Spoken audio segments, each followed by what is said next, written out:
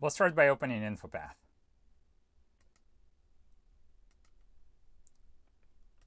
Microsoft Office, Microsoft InfoPath Designer 2010.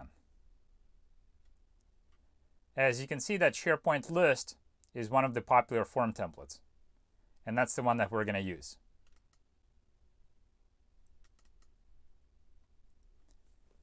For the location, we're going to type ABC University courses site. Click Next.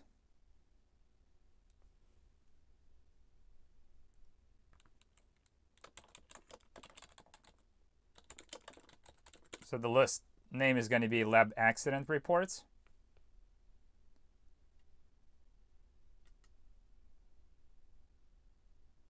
Then we're just going to click finish.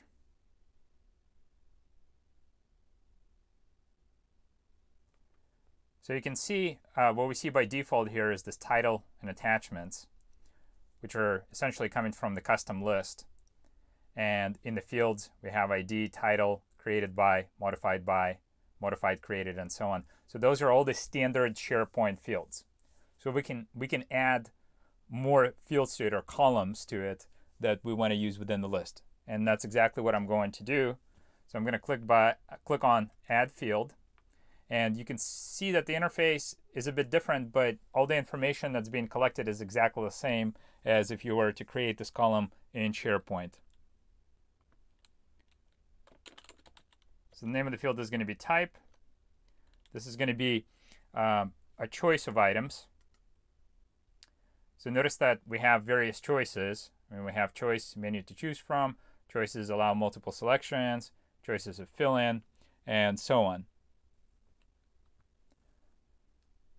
We'll just use the basic one right now. Choice is the menu to choose from. And then we'll go to edit choices and uh, just quickly, I'll remove all the existing choices instead of modifying them. And we'll add choice by choice. So we have first choice general.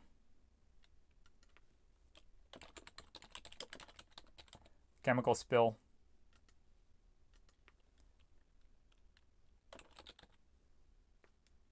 Fire, and then finally broken glass. So these are the types of accidents that we can get in the lab. I'm sure there, there would be many more, but those are just the values that we're going to have right now. Um, if we want, we can make this field required, but you know we don't need to. And um,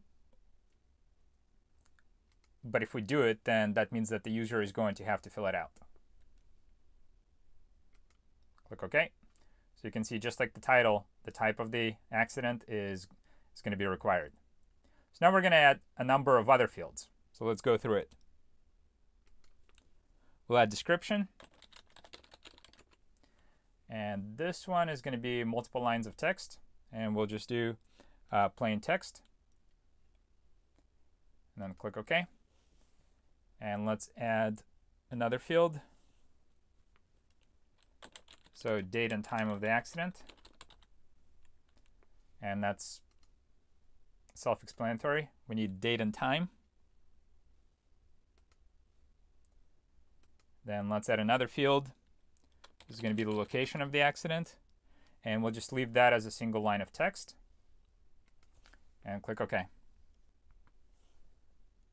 Now let's another field, and that's where we're getting to interesting fields like the root cause. So what actually caused the accident? And in this case, uh, we will have also a choice item. And notice that you can choose choice with fill-in, menu to choose from, or text. So what that means, um, in this case, the user can either select from a menu or write something in. And let's edit choices. And we'll repeat the process just like last time. We'll add a choice standard operating procedure error. So someone was following the procedure, but uh, there's something wrong in it, and that's why the accident happened. Or maybe the person was not trained or not following the standard operating procedure properly. So let's just add some of these other items, like uh, uh, negligence is one of the options, and also using outdated SOP. So instead of instead of using the current one, maybe they use the one that was printed a year ago, which was not a good idea since maybe the lab settings have changed. So that's our root cause field.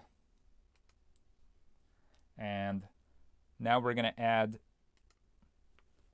corrective actions. So what what has been done to fix um, essentially what happened.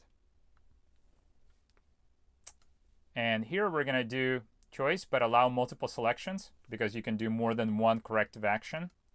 And again, we'll edit choices and we'll add some choices. Um, so one of the actions is just update the SOPs. If the standard operating procedure was run, we can update it. Another one, we can reprimand the student.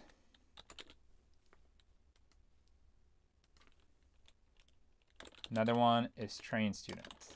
So if some someone just didn't know how to do something, we can train them, and next time they won't have an accident. And finally, take away lab access. Somebody was really bad, maybe they shouldn't be in a chemistry lab to start with. So those are some of the corrective actions that we're going to have. Then let's add another field, and this field is going to be um, amount of chemicals spilled. So this is related to the chemical spill.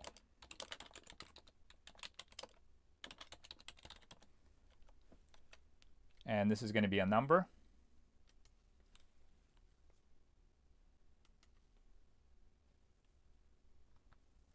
And for the minimum value, we'll put 0. So you can't spill less than 0.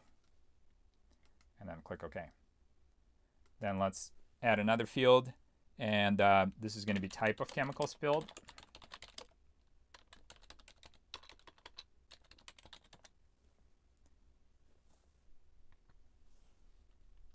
and we'll choose choice with fill-in menu. And we'll just have two choices in this one. We'll just uh, modify the ones that are already there. Um, hydrochloric acid. So that's pretty bad stuff if you spill that. And uh, for the second one, we're going to have ammonia. So also pretty bad stuff. Um, not as bad as hydrochloric acid, I don't think. So we have type of chemical spilled. And uh, we still need a couple more fields related to other things. Like um, we're going to have the type of fire uh, and um, injury response and injured person. So let's let's add those in. So injured person, and that's going to be a person.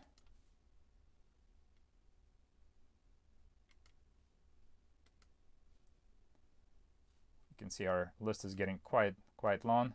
Then we'll add another field, and this is going to be injury response.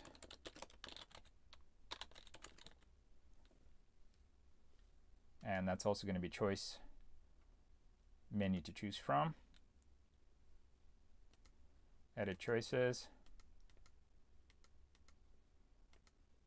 And let's add some choices. This is definitely the most fields we've created in any of the SharePoint lists so far, or you know the form that's going to create the list. And but this would be very similar to a typical form used in in a real um, real world example.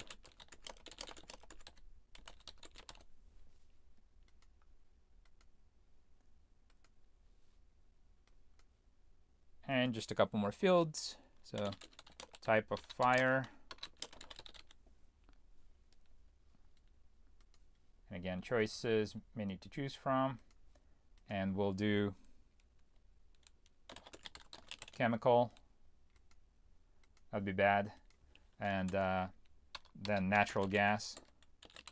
Those gas burners in the lab could, could start a fire. Finally, wood. So not likely in a chemistry lab, but possible. And one last field. fire length and it's going to be a number. Click OK. So now we're done creating all the data. And that's actually the first thing you want to do is you want to go through and decide all the data that you're going to collect. The layout you can always change later, but the data is a lot harder to collect once the form has been filled out. I mean, then you have to go back and uh, ask the people to fill out the form again.